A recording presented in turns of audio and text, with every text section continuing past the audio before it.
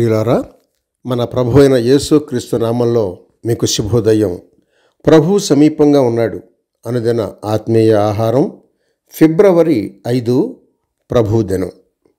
నేటి మన ధ్యాన లేఖనం రోమియోలకు రాసిన పత్రిక ఎనిమిదవ అధ్యాయం ముప్పై రెండో వచనం. తన సొంత కుమారుని అనుగ్రహించుటకు వెనుక తీయక మన అందరి కొరకు ఆయనను అప్పగించినవాడు ఆయనతో పాటు సమస్తమును మనకెందుకు అనుగ్రహింపడు? వ్యాఖ్యానాంశం శిలువ యొద్ద కనబడు సంగతులు. వ్యాఖ్యానాంశం శిలువ యొద్ద కనబడు సంగతులు. వ్యాఖ్యానం దేవుని నిత్య కుమారుడైన యేసు ప్రభువు తనను తాను తగ్గించుకొని నరరూపిగా జన్మించాడు. అత్యంత అల్పమైన స్థానం వరకు తన్ను తాను తగ్గించుకున్నాడు. ఆయన మరణం పొందినంతగా తగ్గించుకున్నాడు. అనగా శిలువ మరణం పొందినంతగా తగ్గించుకున్నాడు. ఇదంతా ప్రభువుకు ఏ విధంగా పరిణమించింది? యోధా ఇస్కర్యోతు ముద్దు పెట్టుకొని ఆయన్ను అప్పగించినప్పుడు ప్రభువుకు ఏమనిపించింది? సైనికులు ఆయన ముఖం మీద ఉమ్మివేసినప్పుడు కొరడాలతో కొట్టినప్పుడు అత్యంత భయంకరంగా ఆయనను హేళన చేసి దూషించినప్పుడు అది ప్రభువుకు ఏమనిపించింది? ఇంకను ఆయన మన పాపాలను భరిస్తూ మన కోసం పాపంగా చేయబడి పాపం సహించని పరిశుద్ధుడైన దేవుని తీర్పును అనుభవించటం ప్రభువు మీద ఎట్టి ప్రభావం చూపిందో? ఈ పరిస్థితుల్లో లోకం దాని విపరీత ధోరణులతో ఆయనను చుట్టుముట్టి ఆయనను హేళన చేసింది. దుష్ట స్వభావం ఆయన మీదకు పొంగి పొర్లుతోంది.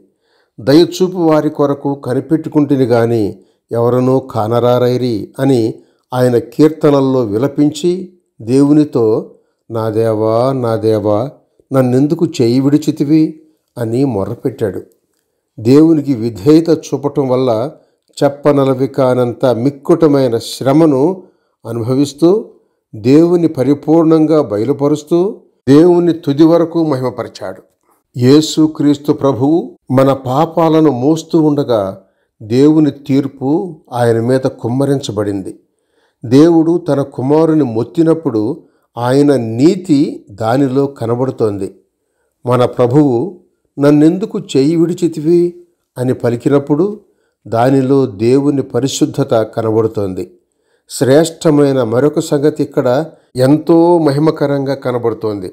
అదేమంటే దేవుడు ప్రేమయ్య ఉన్నాడు అని. దేవుడు మన కొరకు తన అద్వితీయ కుమారుని మరణానికి అప్పగించటం ఈ శిలువ యొద్ద మనం చూడవచ్చు ఆ న్యాయ తీర్పు నుండి పాపాత్మని రక్షించడానికి దేవుడు తన కుమారునికి తీర్పు తీర్చాడు. అయినా మన తీర్పును అనుభవిస్తూ దేవుని చేత విడనాడబడిన ఆ క్షణంలో దేవుడు తన కుమారుని ఎంతో ఆనందంతో చూచాడు. ఆయన మన తీర్పును భరించాడు. ఆయన శత్రువులు శిలువ యొద్ద ఆయనను చుట్టుముట్టినప్పుడు దేవుడు తన కుమారుని విడిచిపెట్టినప్పుడు ఆయన ఏమని అనుకొని ఉంటాడో? దేవుడు శత్రుపక్షముగా చేరినప్పుడు ఆయన మనసు ఏ విధంగా ఉండి ఉంటుందో కదా? సహోదరుడు హెచ్ఎల్ హైకు శుభములతో వందనాలు